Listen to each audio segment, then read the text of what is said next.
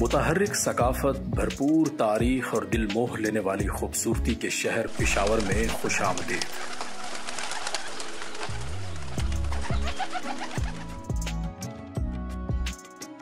इस मुख्तसर दस्तावेजी फ़िल्म में हम आपको इस कदीम शहर के कल्ब में सफ़र पर ले जाएँगे। शुमाली पाकिस्तान में वाक़ पिशावर हज़ारों साल से मुख्तलिफ़ तहजीबों का पिघलने वाला हिस्सा रहा है। इसकी तारीख कदीम गंधारा से मिलती है, जहाँ इस खत्े ने बुद्ध मत के फैलाव में अहम किरदार अदा किया।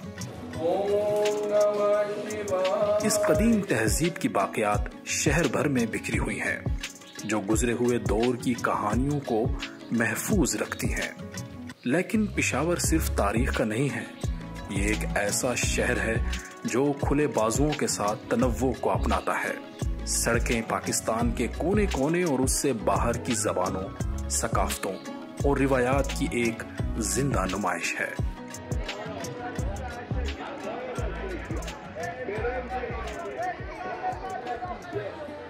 कोई भी इस शानदार पाक सफ़र से महरूम नहीं रह सकता, जो पिशावर पेश करता है।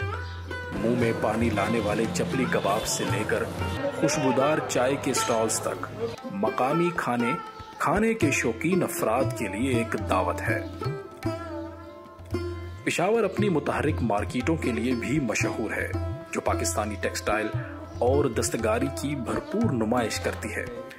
आपको पेचीदा कढ़ाई रंगीन कपड़े और खूबसूरत हाथ से बने हुए कालीन मिल सकते हैं जो शहर के फनकाराना विरसे की अक्कासी करते हैं। शहर के फन तामीर के कमालात भी उतने ही दिलकश हैं। महाबत खान मस्जिद अपने पेचीदा डिज़ाइन और शानदार मीनारों के साथ, पिशावर के अमीर इस्लामी विरसे की गवाही के तौर पर खड़ी है।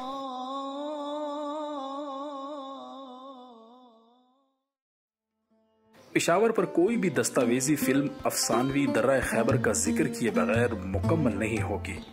वस्ती एशिया को जनूबी एशिया से जोड़ने वाला ये कदीम तिजारती रास्ता पूरी तारीख में लातादाद फौजों, ताजरों और मुसाफिरों के गुजरने का गवाह रहा है।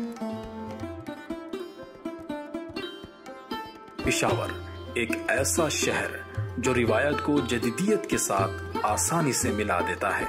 अपनी शानदार तारीख, सकाफती तनव और गर्म जोशी से, मेहमान नवाजी से अपने मेहमानों को मशहूर करता है। ये उन अजायबात की सिर्फ़ एक झलक है, जो इस शहर को अपनी लपेट में लिए हुए है।